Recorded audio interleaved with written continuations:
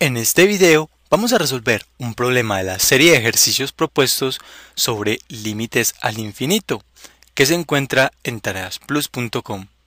Nos piden resolver el límite cuando x tiende a infinito de x al cuadrado menos 1 sobre x más 2 por x al cuadrado.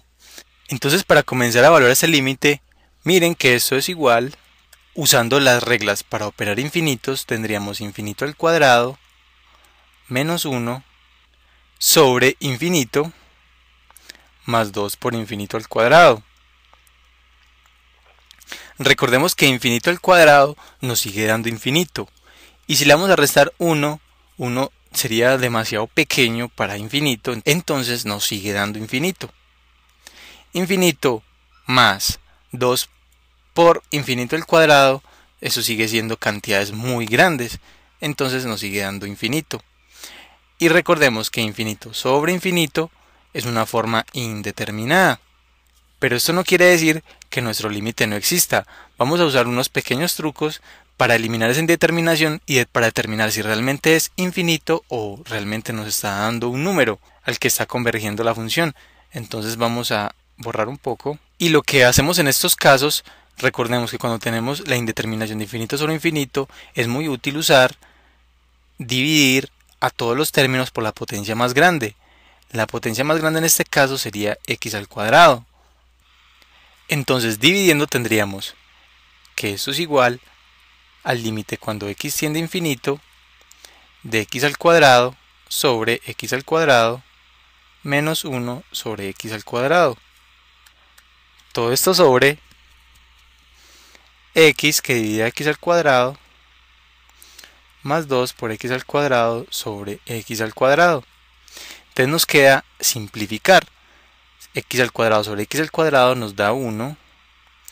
1 sobre x al cuadrado, se lo podemos dejar así. Menos 1 sobre x al cuadrado, no podemos simplificar más.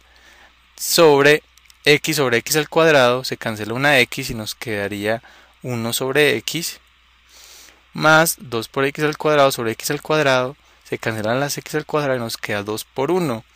Entonces vamos a continuar escribiendo el límite cuando x tiende a infinito de 1 menos 1 sobre x al cuadrado dividido 1 sobre x más 2 que multiplica 1. Lo podemos dejar así.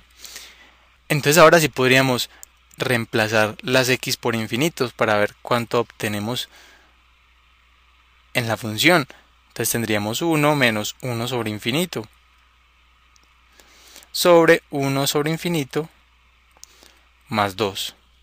Recordemos que una de las reglas para operar infinitos nos dice que si tenemos k sobre infinito, k sobre un número muy muy grande, esta operación tiende al número 0. Entonces eso es lo que tenemos tanto en el numerador como en el denominador. Un 1 que está siendo dividido por infinito todos dos se van para cero y nos quedaría nada más que un medio. Esta sería la respuesta de nuestro límite que logramos encontrarla muy fácilmente usando el método de dividir por la mayor potencia.